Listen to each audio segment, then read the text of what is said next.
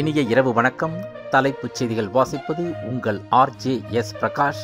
Relax ரேடியோவிலிருந்து இந்தியாவிற்கான Britain தூதரக அதிகாரியாக டெல்லியைச் சேர்ந்த பதினெட்டு வயது இளம்பெண்ணை ஒரு நாள் பணியாற்ற அனுமதித்து கௌரவித்துள்ளனர். தங்கள் நாட்டில் ஒருவர் கூட கொரோனா வைரஸ் தொற்றால் பாதிக்கப்படவில்லை என வடகொரிய அதிபர் கிம் ஜாங் உன் தெரிவித்துள்ளார். பெங்களூருவின் புறநகர் பகுதியில் உள்ள கடை ஒன்றில் பிரியாணி வாங்குவதற்காக அதிகாலை நான்கு மணி முதல் ஒன்றரை கிலோமீட்டர் தூரம் வரிசையில் நின்ற வீடியோ சமூக வலைதளங்களில் வேகமாக பரவி வருகின்றது. வரும் சட்டசபை தேர்தலுக்கான திமுகவின் தேர்தல் அறிக்கையை தயாரிக்க மூத்த தலைவர்கள் அடங்கிய எட்டு பேர் கொண்ட குழு அமைக்கப்பட்டுள்ளதாக திமுக பொதுச் செயலாளர் துரை முருகன் தெரிவித்துள்ளார்.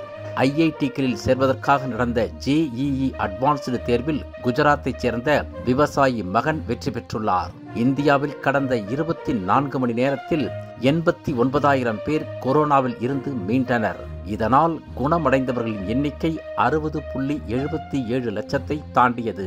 பருவமழை முன்னேற்பாடுகள் குறித்து முதல்வர் எடப்பாடி பழனிசாமி அவர்கள் நாளை ஆலோசனை நடத்த உள்ளார் அமெரிக்க அதிபர் டொனால்டு ட்ரம்ப் முன்னதாக கொரோனா தாக்கத்தால் பாதிக்கப்பட்டிருந்தார். பின்னர் அவருக்கு அமெரிக்க ராணுவ மருத்துவமனையில் தீவிர சிகிச்சை வழங்கப்பட்டதை அடுத்து தற்போது தாக்கம் குறைந்து மீண்டும் பிரச்சாரத்தில் ஈடுபட துவங்கியுள்ளார் என தகவல் வெளியாகியுள்ளது. கொரோனா தொடர்ந்து அதிகரித்து வருவதால் மகாராஷ்டிராவில் தீபாவளி வரை பள்ளிகள் திறக்கப்படாது என அம்மாநில கல்வி மந்திரி தெரிவித்துள்ளார். அபுதாபியில் இன்று நடைபெறும் இரண்டாவது ஆட்டத்தில் ஸ்ரேயாஸ் ஐயர் தலைமையிலான டெல்லி கேபிட்டல்ஸ் அணியும் ரோஹித் சர்மா தலைமையிலான மும்பை இந்தியன்ஸ் அணியும் மோதுகின்றன.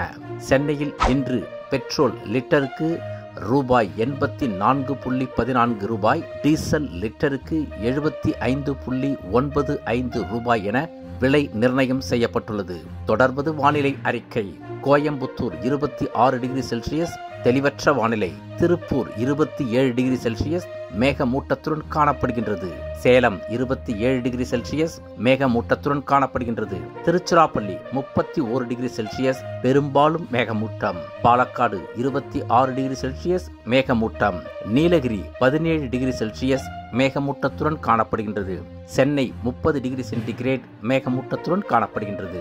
இத்துடன் செய்தி அறிக்கை முடிவடைகின்றது. மீண்டும் செய்திகளை நாளை இரவு எட்டு மணிக்கு கேட்டு தெரிந்து கொள்ள ரிலாக்ஸ் ரேடியோ இந்தியாவிற்கு சப்ஸ்கிரைப் செய்து கொள்ளுங்கள். நன்றி வணக்கம்.